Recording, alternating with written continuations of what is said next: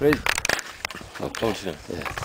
Ja. Øh, ja, det er så min næste sidste dag her i Himalaya, og står foran uh, Annapurna South og Hinchulu.